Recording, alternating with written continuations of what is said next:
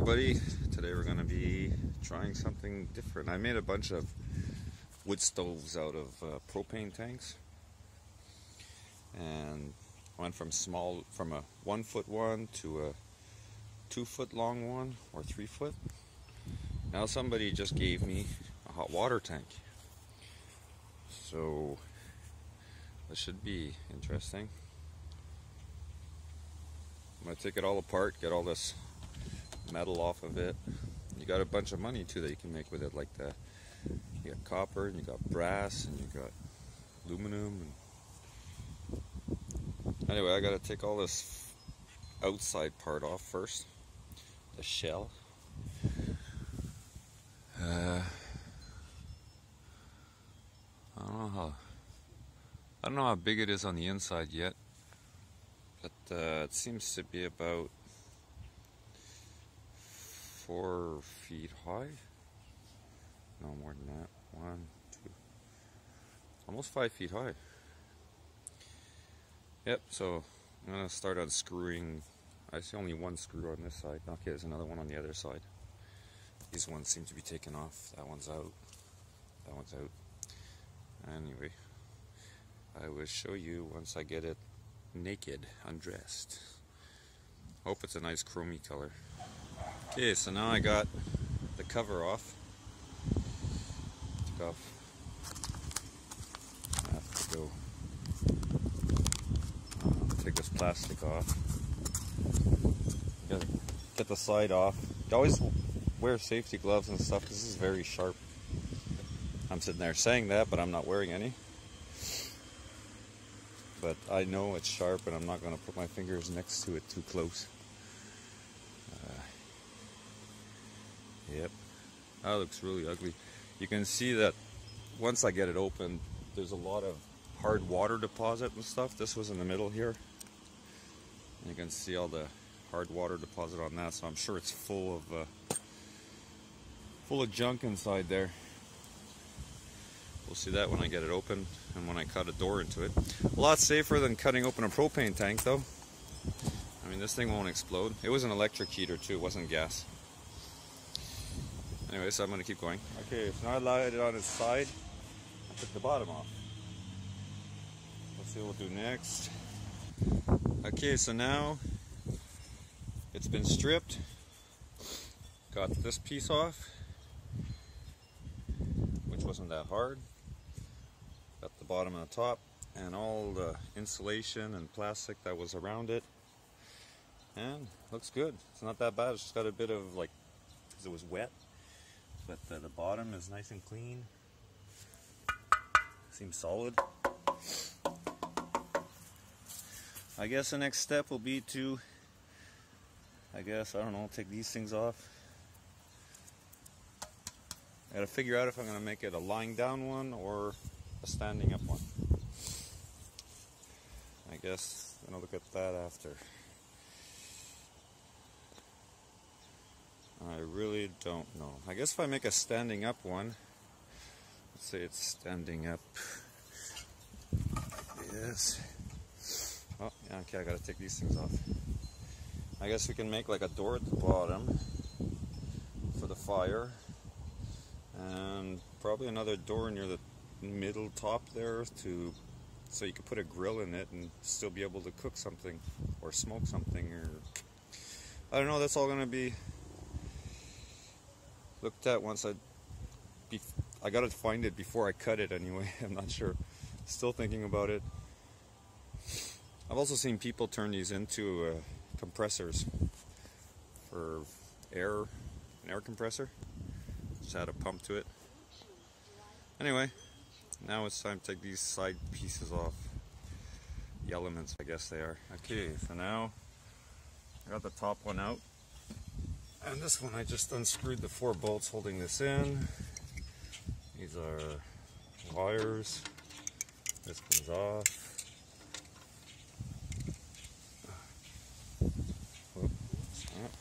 Okay, now will be to get this plate off. I don't know if we can just hit it. Okay, there we go. And once that comes out, uh, look at all that gunk in there. Once I get the door doors made, I'm going to empty this stuff out because That's really nasty stuff. It's a hard water deposit. So now I got all that off. You know, I gotta get that metal plate and do like I did here and take the element out of it and put it back, cover the hole. And after that, it's pretty much almost ready for cutting. Right, dog? Right, dog? Yeah. Eh? Anyway, gotta clean it up and do that. Okay, so now everything is stripped off of it. There's nothing left. I was trying to decide now. I'm gonna make a part two to this because this is uh, I was thinking if I should make a standing up wood stove or a lying down stove like uh, my propane one here.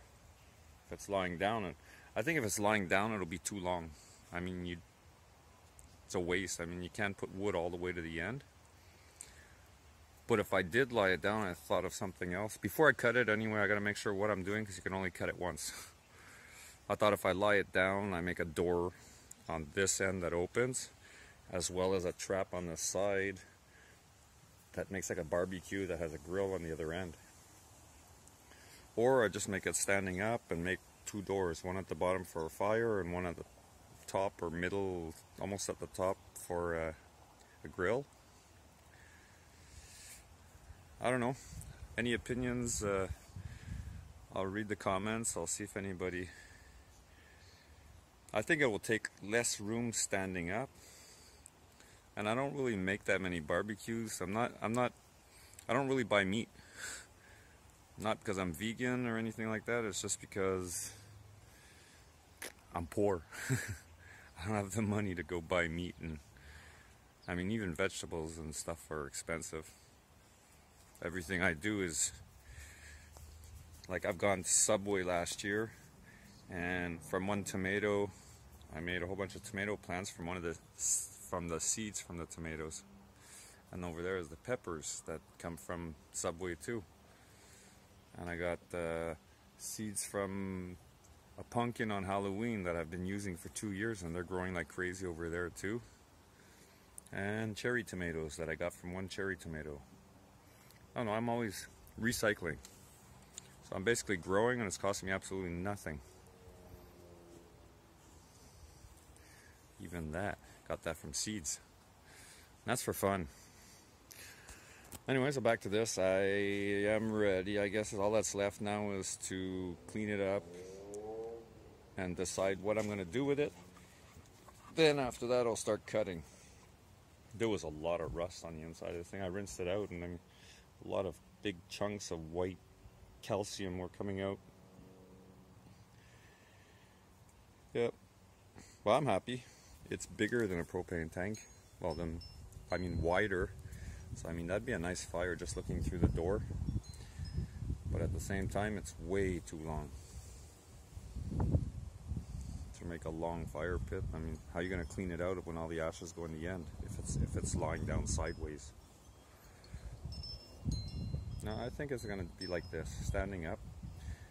And in the winter, I can stick it in that little camper and that'll heat it up. You just make a small fire in that and that'll heat it up. I mean, it's, it's the camper doesn't move, it has no wheels on it or anything. It's, it's, it's stuck there. It's my workshop and there's a double bed in there with a computer to go sleep there at night. Okay, so I got gas stuff in there and oil and one side workshop, one side bed.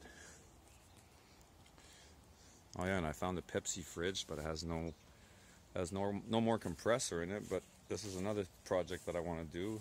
I'm figuring uh, something you can grow plants in with a neon light at the top, but not outside, inside the house there. That's another project one day. It seals well, it just doesn't have a compressor. And the camper, well, right now it's really upside down because it's winter just finished and I've been putting stuff in here. I got extra propane tanks to make more stuff and it's all storage. But I've been sleeping here lately, the laptop. Dogs love it.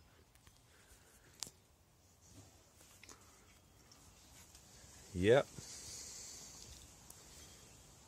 Love doing random stuff.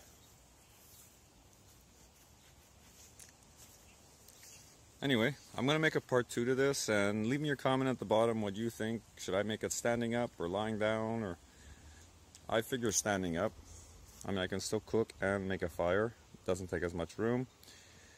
Uh,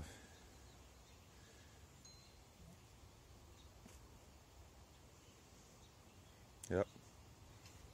Probably put on the balcony too and make fires on it on your balcony. I'm gonna have to find a chimney for this thing. That's another thing. Whenever I make them lying down, when you open the door, the smoke comes back out the door. But standing up, because the door is way at the bottom and the smoke goes up towards the top, it has no choice but to go out the chimney. So those are all, that's why I think it would be better standing up, I guess. Seems really thick up here too. That's going to be hard to cut. I don't have any special tools. I'm not using the only thing I have is like a, a jigsaw for a cheap jibs, a cheap jigsaw. Uh, circular saw won't help me because it's wood. That's for cutting wood. A drill, a hacksaw that I have to do by hand. No, no torches or anything. I don't own any. Everything I make is without torches, and it works. It's just that having torches or welders, that would be fun. I'd love to make this thing look steampunk or like an old missile from the war that landed in my yard. that would be funny too. Anyway, we'll see. Anyway, uh, if you got any suggestions and stuff like that or ideas, let me know. I'm open to anything. I don't, it, you know, it's just for fun. It's not, uh, it's not like I'm selling it for money or anything. And if I can do it, you can do it especially with no power tools. Anyway, I'm going to make a part two. I will follow through. I will show part two. Sorry I wasn't filming while I'm working, but I'm doing this with a cell phone and I don't have a tripod or anything. Uh, and nobody's here to help me hold the phone and film while I'm working. But uh, showing the step so far, I mean, it's, it's, it's nothing there. All I did was unwrap it with this stuff. The, this is just wrapped around it. Just need a chisel and a hammer to every rivet hole that was there, not rivet, but just a spot weld, tick, tick, tick. So once you get those off, it just comes off really easily. It wasn't stuck to it. The top was the same thing. and had like four screws around and popped off. And I took off the elements that were on the bottom and the top. And all the that's what I got. Got some brass, got some copper, copper, and I kept the thermostats in case somebody, uh, the guy who gave it to me wants them. I don't know. I doubt it, but uh, throw them away. Uh, worst comes to worst, I'll just keep all the copper and the brass. So basically, how much did this cost so far? It cost me zero, plus I'm going to get paid for the copper and the brass. So I mean, I'm basically making money. I'm getting money for making this. and it's still going to be mine. so, plus there's also some metal there, but I'm not sure if I'm going to throw that away right now because it could be good for something.